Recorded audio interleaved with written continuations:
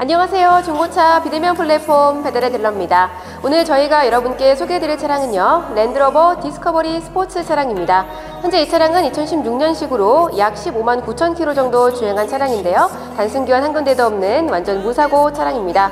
이 차량 성능 기록부와 총 구매 비용 바로 확인하고 오실게요.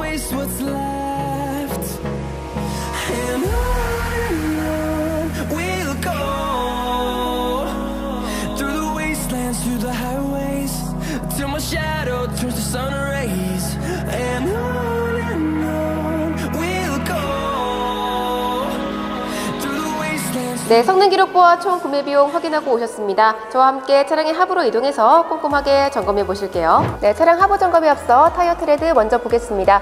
8mm 신품급 기준으로 현재 이 차량은 6.26mm로 약 80% 정도의 트레드 보이고 있고요. 자리 이동해서 좌우측 편마모 보겠습니다. 정면에서 보셨을 때 좌우측 편마모 없이 아주 말끔한 상태 보여주고 있고요. 반대편 쪽도 보시면 역시나 좌우측 편마모 없이 깨끗한 모습 보여주고 있습니다. 네, 그럼 차량 하부 점검 이어가겠습니다. 먼저 머플러 부분 보실 텐데요. 현재 열에 의한 변색과 살짝의 보식 정도만 보여주는 정도로 연식과 주행거리 대비했을 때는 전반적으로 양호하게 보여지고요. 이어서 왼쪽 뒷바퀴 보겠습니다. 네, 위쪽부터 아래쪽까지 현가장치 쭉 쭉 둘러보셨을 때 유격이나 이탈 전혀 없이 아주 말끔한 상태로 부식 진행된 부분 없습니다. 아주 깔끔하게 관리 잘 된 모습 보여주고 있고요. 쭉 해서 오른쪽도 보겠습니다. 오른쪽도 왼쪽과 동일한 상태로 유격이나 이탈 전혀 없고요. 전반적으로 주행거리 대비했을 때는 아주 양호한 모습 확인하실 수 있겠습니다. 네, 다음은 바디 프레임 부분 보실 텐데요. 양쪽 모두 under coating 들어가 있는 것으로 확인됩니다. 전반적으로 아주 양호한 모습 보여지고 있고요. 안쪽으로 쭉 들어가서 엔진과 미션 쪽 미세 누유 있는지 보겠습니다. 먼저 엔진 쪽 보시면 마감 처리 도 깔끔하게 되어 있고요. 현재 미세 누유 흔적조차 보이지 않습니다. 아주 깨끗한 모습 확인해 보실 수 있겠고 옆쪽에 미션 쪽도 현재 미세 누유 전혀 없이 아주 말끔한 모습 보여주고 있습니다. 이어서 앞바퀴 보실 텐데요. 이쪽은 조수석 쪽이고요. 현재 등속 조인트 찢어지거나 터진 부분 없이 아주 말끔한 상태로 주변부 볼 조인트를 비롯한 기타 장치들 유격 이탈 전혀 없이 깔끔하게 체결되어 있습니다. 이어서 운전석 쪽 보겠습니다. 운전석 쪽 등속 조인트도 아주 말끔한 상태 그대로 유지되고 있고요. 볼 조인트를 비롯한 기타 장치들 유격 이탈 전혀 없이 깔끔하게 체결되어 있습니다. 이어서 앞바퀴 타이어 트레드 바로 보겠습니다. 앞바퀴 타이어 트레드는 5.78로 약 55에서 60% 정도 트레드 남아 있고요. 정면에서 보셨을 때 좌우측 편마모 없이 깨끗한 모습입니다. 네, 반대편 쪽도 보시면 역시나 좌우측 편마모 없는 깨끗한 모습 확인해 보실 수 있겠네요. 네, 이렇게 저와 함께 랜드로버의 디스커버리 스포츠 차량 아래쪽 하부 쭉 둘러보셨는데요. 현재 이 차량 연식과 주행거리 대비했을 때 아래쪽 하부 전반적으로 우수합니다. 현재 네 짝 타이어 모두 좌우측 편마모 없는 아주 말끔한 상태로 현재 주행하시기에 아주 적정한 상태 보여지고 있는데요. SUV 그 희망하시는 고객님들께 추천드리도록 하겠습니다. 네, 저희 배달의 딜러에서는 전문가용 스캐너를 통해서 엔진과 미션 상태 체크해드리고 있습니다. 먼저 엔진 상태 보겠습니다. 네, 현재 엔진 쪽 고장 코드 없음 확인되셨고요.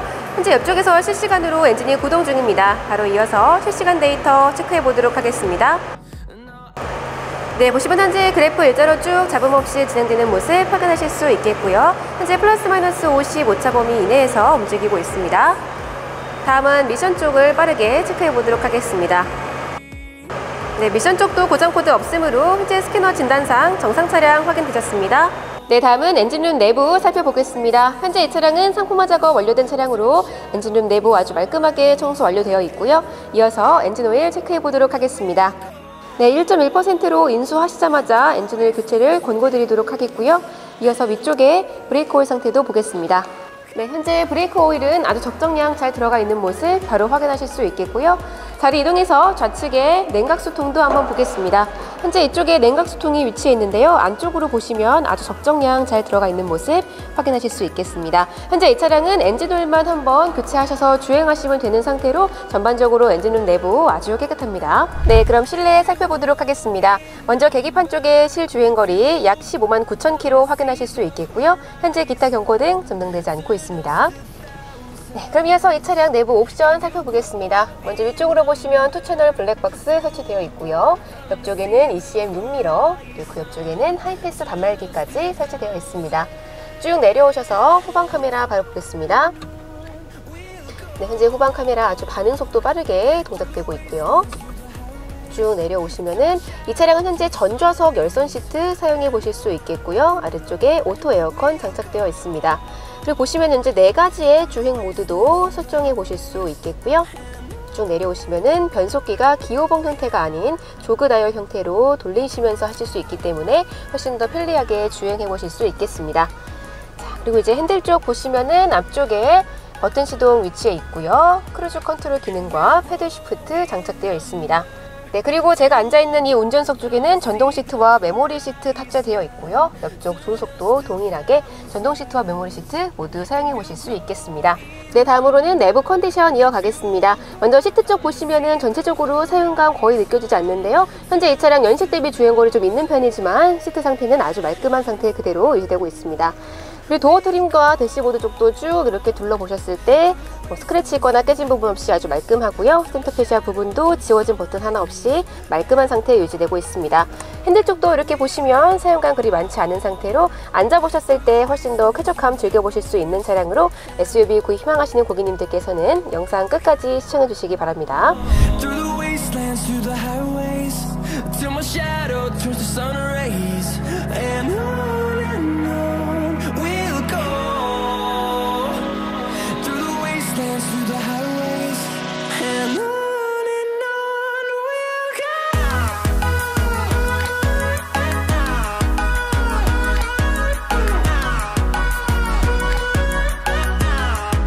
네, 실내 둘러보고 오셨습니다. 이제 외부 쪽 보실 텐데요. 먼저 보넷 쪽 상태 보시겠습니다.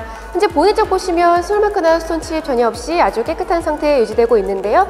주행거리 대비해서는 아주 깨끗하게 관리된 차량으로 보여집니다. 그리고 아주 고급스러운 그레이 컬러도 확인해 보실 수 있겠고 아래쪽으로 쭉 내려오셔서 그릴 부분 보시면 스크래치 있거나 깨진 부분 전혀 없이 아주 말끔한 모습 보여주고 있습니다. 옆쪽에 헤드라이트 부분도 아주 맑은 상태 그대로 유지되고 있고요. 옆쪽으로 넘어가서 휠 컨디션 바로 보겠습니다. 현재 보시면 위쪽에만 살짝 스크래치 느껴지는 정도로 전반적으로는 양호하게 보여지고요. 그리고 옆쪽에 사이드 미러 쪽 보시면 스크래치 있거나 깨진 부분 전혀 없는 깨끗한 모습도 확인하실 수 있겠습니다. 자, 그리고 앞좌석 도어와 뒷좌석 도어 쪽 현재 돌튐이나 문콕 현상 전혀 없이 아주 깔끔한 그레이 톤 색상 확인해 보실 수 있겠고 쭉 해서 뒤쪽 후방부 넘어가 보도록 하겠습니다. 뒤쪽 테일램프도 보시는 것처럼 아주 깨끗한 상태 그대로 유지되고 있고요. 아래쪽 하단 범퍼 금가거나 깨진 부분 전혀 없는 아주 말끔한 컨디션 보여주고 있습니다. 자, 마지막으로 반대편 보실 텐데요. 반대편 휠은 훨씬 더 깨끗합니다. 이쪽에 살짝의 미세한 스크래치만 느껴지고요. 아주 A급의 상태에 보여지고 있습니다. 자, 그리고 뒷좌석 도어와 앞좌석 도어 쪽에도 돌팀이나 문콕 현상 없이 깔끔한 상태 확인해 보실 수 있겠습니다. 네, 이렇게 저와 함께 랜드로버 디스커버리 스포츠 차량 쭉 둘러보셨습니다. 현재 이 차량 연식과 주행거리 대비해서 내외관 모두 아주 A급의 상태에 보여지고 있는데요. 직접 탑승해 본 결과 훨씬 더 쾌적함 느껴질 수 있는 차량이었습니다.